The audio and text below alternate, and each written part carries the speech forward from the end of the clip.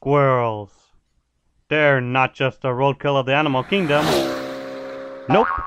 In fact, they're a whole lot more interesting than most people give them credit for. So put away your squirrel launchers as we delve into the world of squirrels. Squirrels, phylum Chordata, class Mammalia, order Rodentia, suborder Sciuromorpha. Now, I know what you're thinking. What you talking about, Willis?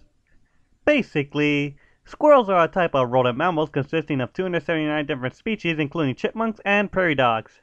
Yeah, I bet you didn't know they were squirrels too. You see, squirrels come in all shapes and sizes. The smallest squirrel is the African pygmy squirrel, only 2.8 to 3.9 inches long. That's about half the size of an unsharpened pencil. Good luck finding one of those guys around. The biggest squirrel towers over the African pygmy, the alpine marmot, which can grow between 21 to 29 inches long. Wow! In comparison, the world's shortest man, Dangi, is 21 and a half inches tall, while the tallest, Kosen, is 99 inches. While that is tall, he's not even close to the ratio we're talking about. He'd have to be about twice as tall to be in the ballpark. Now that's a big meatball. With such a huge difference in the same species, how do you keep track of it all? Well, to keep a bit of order in the squirrel world, people have made it simple by classifying squirrels into one of three categories tree squirrels, ground squirrels, and flying squirrels. But in truth, what do we think about when we hear the word squirrel? We think about their large eyes and huge fluffy tails. But those aren't just for show, you know. Squirrels have excellent vision due to their large eyes, and they are positioned in just a way that allows them to see in front of them, to the sides, and above them without even turning their heads. Just give them a tux and you've got yourself a super spy. Look out, 007, cause Secret Squirrels got you beat.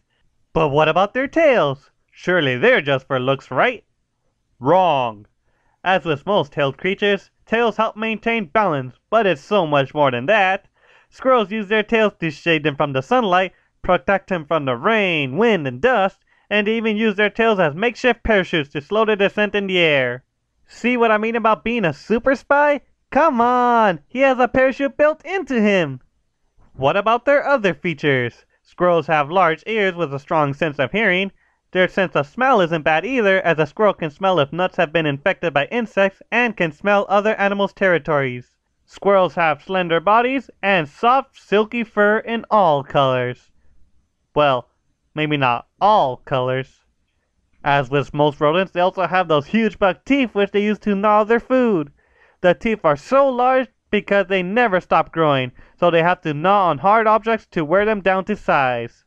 As for their brains, well, call them walnut brains because that's just what they are the size of walnuts. But do they taste like walnuts? Why not ask the Kentuckians? Is that how you call them? I don't know. People from Kentucky, whatever. For them, squirrel brains are a delicacy to be eaten in a stew or with scrambled eggs. Now that's what I call a scrambled brain. Boom! You stink! Eh, let's move on. But where do squirrels come from, you may ask? Now patience, young eager viewers, for our journey has just begun. Squirrels live in a vast variety of habitats from forests to cities. They originate from the Americas, Eurasia, and Africa, but now they can be found all over the world! Except Antarctica. Ops. The first known fossil of a squirrel is this guy, Hesperopetes, which is between 35 to 40 million years old. As for the word squirrel's origin, it was derived from the ancient Greek word skiros, which means shadow-tailed. Forget what I said about this guy being a spy. Squirrels should be ninjas with names like that.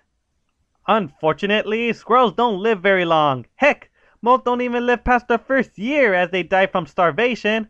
Those who do live only about 5 to 10 years in the wild, but some have survived to double that in captivity. Hear that, PETA? Plus one for you, zoos. So as you can see, reproduction is important for them. The mating season is marked by the development of the male testes and the sexual swelling of females. Male tree squirrels follow the pheromones left behind by females and chase them in what is known as a mating chase. 49 males may chase a single female, but in the end, the female chooses a mate, which is determined by his ability to stay close to her during the chase. Good job for you, Flash! You got yourself some poontang! But he's not the only one. Female squirrels can only mate one day each season, so they need as much as they can get. In fact, they may have up to 30 relations in a single 24 hour period. As for ground squirrels, they have a different mating ritual. Their rituals take place underground, so not much is known about what goes on down there.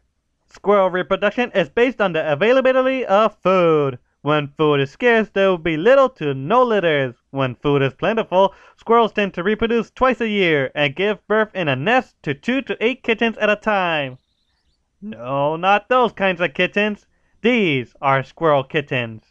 They are born between 29 to 65 days after impregnation and are born without fur or teeth and are blind as their eyes and ears are closed for the first five weeks of life. The female takes care of the kittens on her own because the males leave right after birth.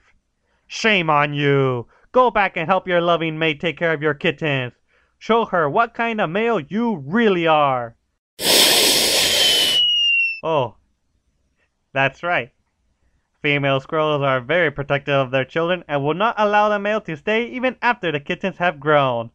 What a meanie! Why would she do such a thing? I mean, he was just trying to. What? There's a good explanation for this. There's no way that. Male squirrels tend to harm their children in order to get the female to go into heat sooner? You horrible creature, get out of here! Where was I? Oh, yes. Squirrel kittens are fully developed after 42 days and are now called juveniles. Juveniles leave the nest 26 to 87 days after birth. By the end of the third year, squirrels reach sexual maturity and are free to seek companionship, and the cycle starts all over again.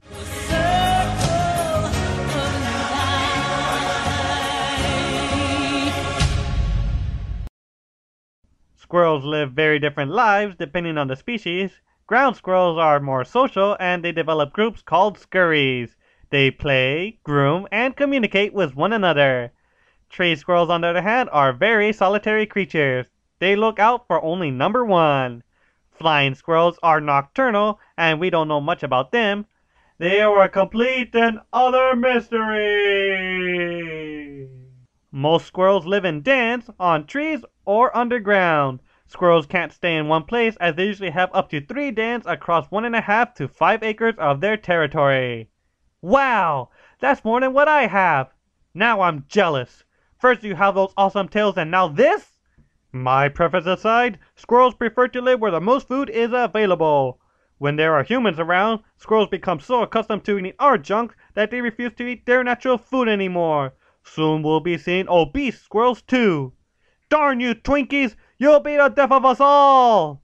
Squirrels are herbivores, but they have been known to eat meat when faced with hunger, such as insects, small birds, snakes, and even other rodents. Don't get a squirrel hungry. You wouldn't like them when they're hungry. To keep from starving during hibernation, squirrels hoard food for the winter, either by burying it or by scattering it through different locations known only to them. Or me too when they store it in my car muffler. I couldn't even get to school, and trust me, when you live in the desert and you have to tell your teacher, sorry, I couldn't get to school because squirrels stuffed nuts up my muffler, they just stare at you funny and call in the men in white to pick you up and send you to the crazy house. Squirrels don't have easy lives either. Many predators, including large birds, felines, canines, and weasels, prey on these little guys. But what they don't know is that they're packing. Some defense strategies. The best method of survival is the camouflage and escape technique. Squirrels with lighter coats try to blend into the sunlight, while those with darker coats blend into the shadows. If that fails, then the squirrels send in the cavalry. A group of squirrels attack the predator in what is known as mobbing. They will continue to attack until the predator leaves the area or is killed. Street style defense for the win. All good for the squirrels, but what can they possibly do for me, I hear you asking? Well, how about saving our entire planet? Yeah, no joke. Squirrels are an important part of our ecosystem. Squirrels help slow down deforestation through seed dispersal activities, or in other words, Their feces leaves seeds in a natural fertilizer.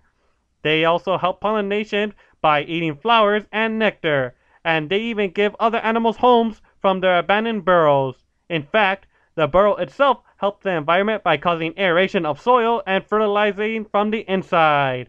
As you can see, squirrels are very complex creatures. Love 'em or hate 'em, you gotta respect those little guys.